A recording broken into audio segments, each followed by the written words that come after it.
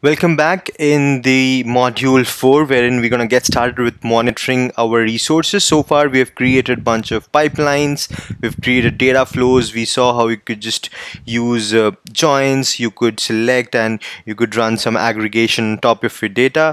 Um, there were situations when few of our pipelines or few of our activity data flows failed.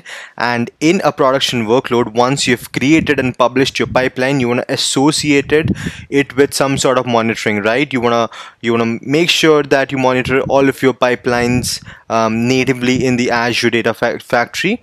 And uh, Azure Data Factory has got an inbuilt monitoring system so that you don't have to set up anything uh, on top of it everything is available. We just need to configure it. Uh, just need to see how uh, we, we just can utilize uh, the monitoring functionality of Azure Data Factory.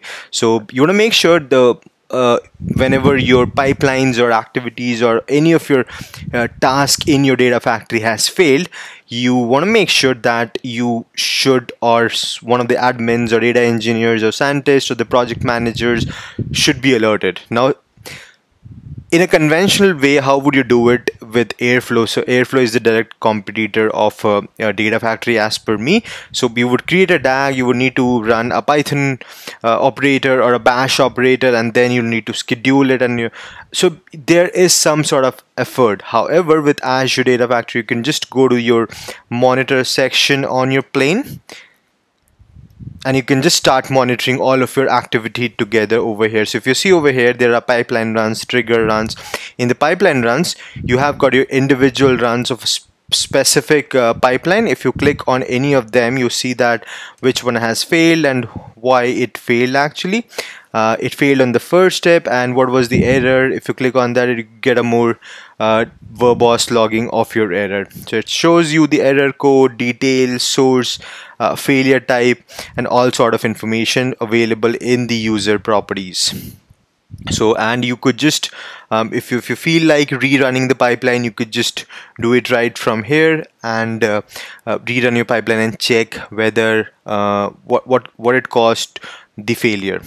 So you could just always uh, consume it and if you go to the pipeline again um, you could just uh, um, see the consumption report as well how much uh, uh, how much di hour it consumed what was the execution time um, and, and you can uh, see all sort of uh, um, uh, calculations of your runtime. If you notice over here there's a list view which is the current view. All of the pipelines run start end time duration all of the details over here. You get a Gantt view as well. In the Gantt view chart uh, is a view that allows you to see the run history over a time range. Uh, by switching to a Gantt view you can uh, see all the pipelines grouped together. Now you don't have a list in front of you rather a group together. And you, once you hover over it you would see that uh, how long it took um, you can group them by annotation as well and you can see all of the details that what was the uh, duration deviation what was the longest time shortest time what was the action taken. Uh, you could just do it for the failed one as well and you can check the status. Um, you could obviously filter it using the filter button or also uh, group by annotation. So you could just um, uh, group all of your pipeline by annotation tags that you have created on your pipeline so yeah this was the holistic view of your um, uh, pipeline um, and how you could just uh, switch to Gantt view and all those features. Let's talk about alert you want to what we are interested is whenever our pipeline has failed or whenever something has gone wrong we want to make sure that um, we get an alert so what I'm gonna do is I'm gonna click on new alert rule and probably I'm gonna use for failed pipeline and that because that's what we've learned so far. Everything is going to be under the pipeline. Give it a description. Pipeline failing alert. Probably do a spell check. Alright so now you can decide the severity as well. So if you consider uh, probably this would be different in your dev or non-product staging environment. However for production um, your failure pipeline would be probably somewhere between sev 0 to sev 1 if not sev 2 uh, because whenever you, your pipeline comprises of many of the tasks and you want to make sure that whenever uh, any of those pipeline fails you uh, want to get alerted and then um, you could just uh, select the criteria. Now there are multiple criterias available at the moment. It's not either failed or successful. There are a lot of anomalies you could just set. Um, maybe somebody has cancelled any activity run. Somebody has cancelled any pipeline. SSIS integration runtime has failed. What we are interested is the failed pipeline. However you could just see there are a lot of other uh, generic alerts metrics already available like the available memory, CPU utilization, queue length, duration, uh, whenever the pipeline has succeeded and uh, if the total number of factory size is more than certain number of GB. So what we're going to do is we're going to start with the failed pipeline. We're going to continue it and um, now I'm going to use the uh, dimensions which against it's going to run. So obviously it's going to show the history over the last six hours uh, and now I can select the dimension. So as soon as you select the dimension it gives you all the activities you have in your pipeline in your Azure Data Factory. So I've got only one um, one uh, pipeline at the moment because I generally delete, delete all of them so just to save the cost. So I'm still going to select all of them and now uh, what I'm interested is I'm probably interested in user error, system error, bad gateway, probably all of them.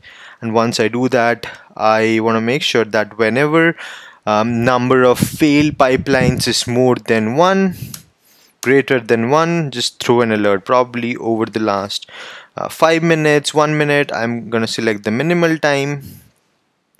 And uh, how, how frequently you want to uh, throw the alert one minute one uh, one hour and uh, depending on how long you want to take uh, the action upon that failure you just add the criteria. So I'm gonna click on add criteria. Now I'm gonna configure the notification. How do you want to no get notified um, admin alert. Short name gonna be I'm gonna keep it same. Now add the notification whether it's gonna be an email SMS or a phone call. So I'm gonna use my email which is aksdevopsshan at outlook.com and then I could just use the SMS also. I'm gonna give it a random number and then you could just use a push notification or voice as well. Currently is not available for all the countries so that's probably something I uh, would defer to do it. Now I'm gonna put the add notification and click on the add action group. And that's gonna that's gonna um, configure the alert for you. Alright um, I'll just edit the phone number. Um, nine eight zero zero zero one two three four five. All right and notification. By the way that was not the real number uh, so that I don't want to get uh, all the spams. I'm just going to create the alert. Once I'm create the alert this alert uh, would be uh, binded with your um, notification which you have set and whenever something has failed uh, you would get a notification. I'm also interested in successful uh, pipeline because initially I want to monitor everything uh, and uh, this is this is probably not a, a, high severity so I'm gonna put it as a 4 and um, configure notification use the existing one. I'm going to use the existing one which we have already created add action group. I'm going to add the criteria. So there was something called as successful pipeline metrics that's what I'm going to use add the criteria and I'm going to create the rule again. So you should have the rules popping up. So now whenever your pipeline is successful or failed um, it's going to throw up an alert. You see that all of your uh, alerts are now created and whenever they the the criterias are met they would be triggered. So we're kind of done with the setup and now whenever we run the pipeline and uh, it, it might just fail or get successful we should start getting a um, get, start getting alerts uh, in case of failures or successful. The bunch of other options we saw and they were uh, basically generally um, on, on your production requirement uh, and these are updated on uh, on a very regular uh, basis. So keep an eye on them and if there are few of the metrics which are missing. You might see them upcoming in the future as well. I hope this was informative and you should be able to integrate with your azure data factory pipeline as well. Thank you